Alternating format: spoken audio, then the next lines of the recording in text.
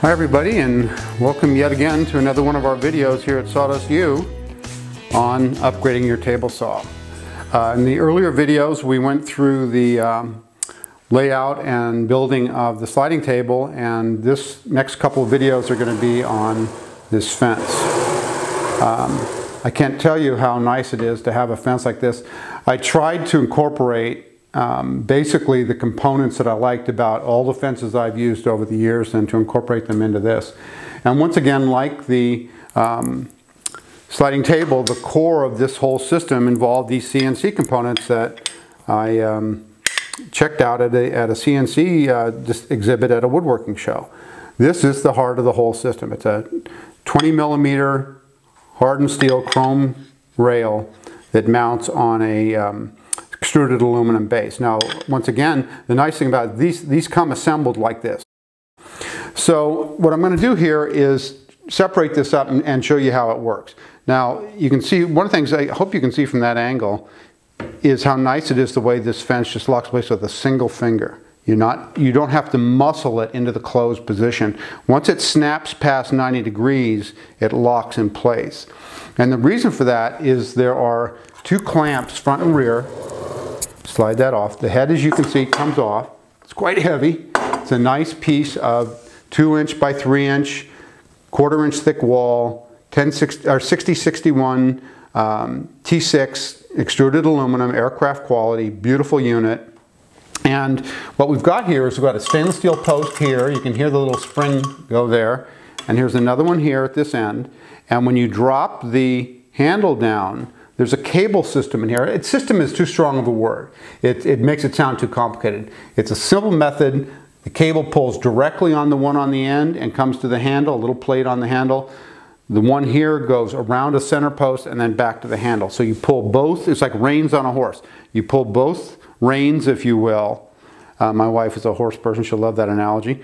Um, so when you lock it down, you're pulling back on those things and you have even tension on both it's adjustable here on the end so that they clamp at exactly the same point and exactly the same pressure. So once you move it back and forth and you get it aligned, you lock it in place, bingo, you're done. It's a real nice system. And then of course the other key to the system is holding it parallel and that's where these rails come in. You can see um, what we've got here. Um, this is a little cursor that I'm going to install here on my Lexan um, cover here over my, uh, I have a Starrett self-adhesive um, scale here. And uh, the nice thing about this, you can see how easily that slides. Now these are quite heavy and you can see I can easily move that back and forth with one finger. And the nice thing about it is because you can rest your hand like this and I can move that back and forth. I can get that within a hundredth of an inch so easy to make your hair stand on end. It's a real, real nice accurate system.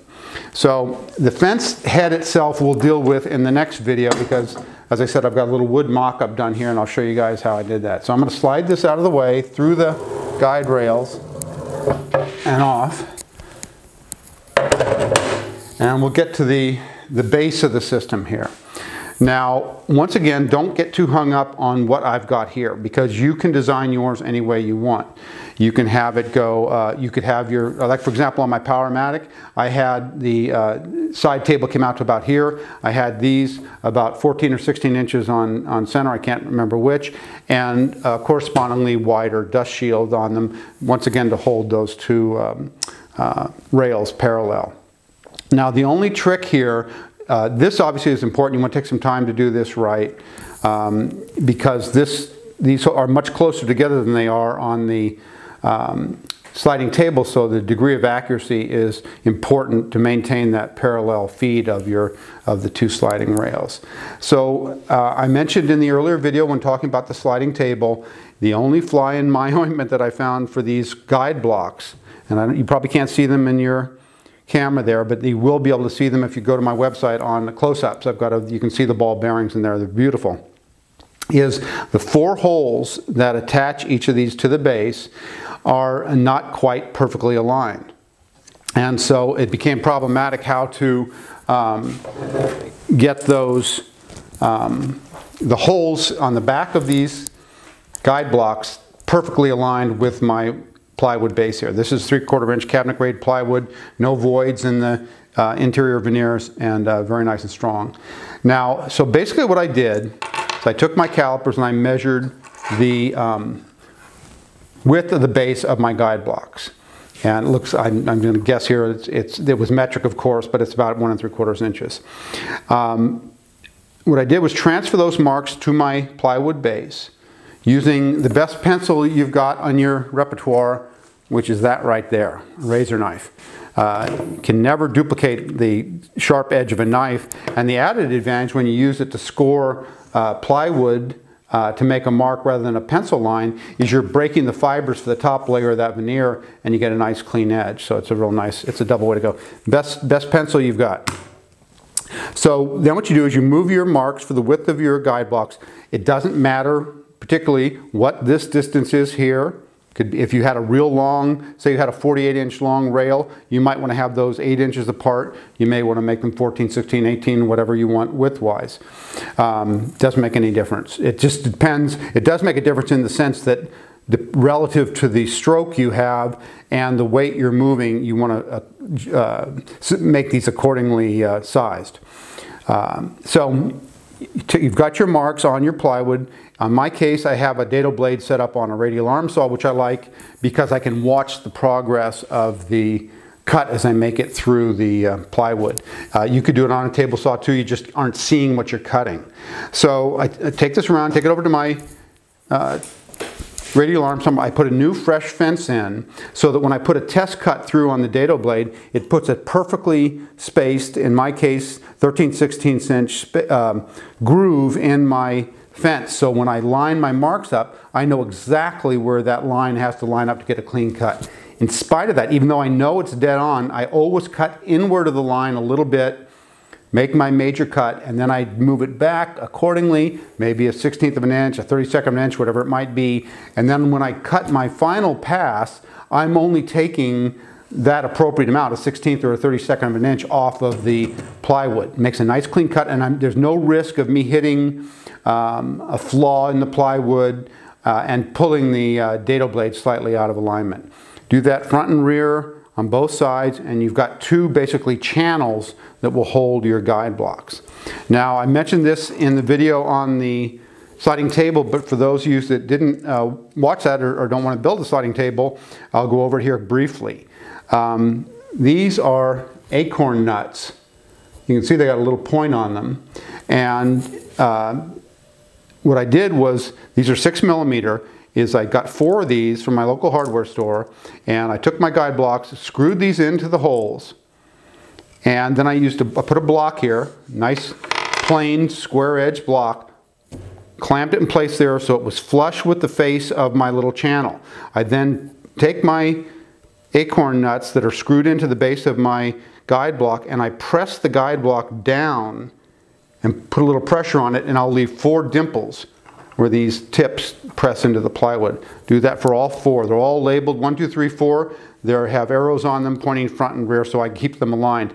Doesn't do any good to have a precision alignment of irregular holes and then if you accidentally rotate it 180 degrees or switch one and four or three and two, whatever it might be.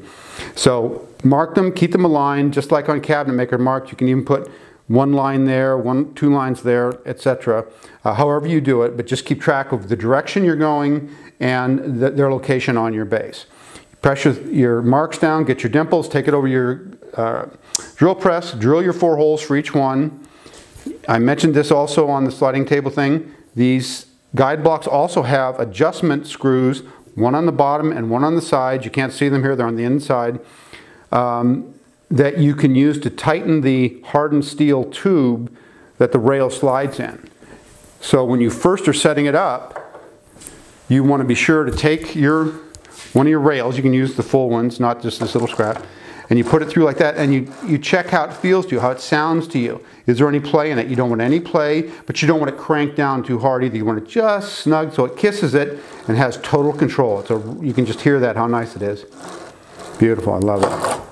Um, once you adjust that and you put a little uh, uh, slow curing uh, lock thread on it, um, you, can, you can tighten those down to where you want them and then they'll dry and they'll lock it in place and you're, you're good to go. So um, the other thing I did is after you get this on, you can put your rail assembly on and we'll mount the uh, fence to it here in a second and um, show you how to align that. It also is worth mentioning, you can see here I got two half inch bolts that when this whole system is together, I don't normally take the head off obviously and the, the rails. I just take these two nuts off of the back of this and the whole assembly lifts off in one piece and I can put it back on. I put my two uh, bolts through the holes, uh, very tight tolerances. Double check it with alignment with the fence with a uh, miter slot hole gauge um, groove and lock it in place and I know I'm good to go. Takes about as much time as uh, changing a saw blade. Well worth it if you have to do it. For me, 99% of the time I just leave the assemblage on. It works like a charm. So I'll go ahead and end this video. We'll come back and we'll show you how to attach the rails to the fence and then we'll do a little video on the fence itself. So thanks a lot. Stay tuned.